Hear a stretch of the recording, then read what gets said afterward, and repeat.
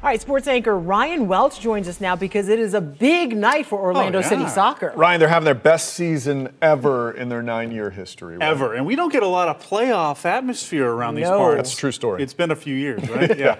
Look, we've got so much momentum for this team right now. The Lions set a number of franchise records this year, but here's when it matters most: the playoffs. It is the most important time of year for MLS fans. News 6's Brian Didlake joins us live in downtown Orlando. And Brian, what is the scene like there?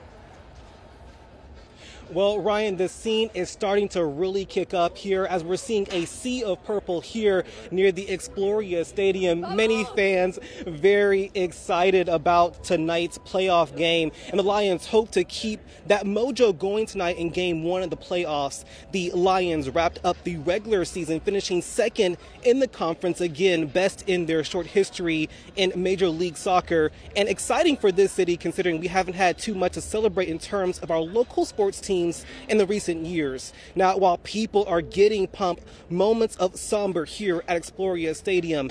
A group about, of about 40 people, many family and friends of one season ticket holder, that ticket holder, ticket holder, excuse me, Ryan Matthews, who passed away from a heart attack at the beginning of this month, according to his family. Now, while family and friends with Orlando City got a chance to honor Matthews on the field today, they tell me it is still heartbreaking that he missed today's playoff game.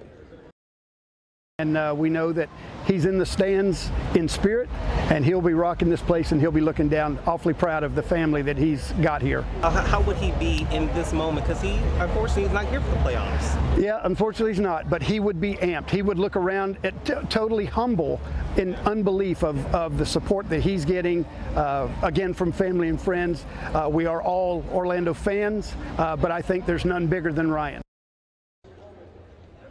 Now, again, fans are still excited. The family and friends of Matthew say that they're going to be cheering extra loud tonight's game for tonight's game. And again, the kickoff starts around 7 p.m., but we'll be here all night giving you the latest updates. For right now, Brian Didlake getting results, News 6. Ryan?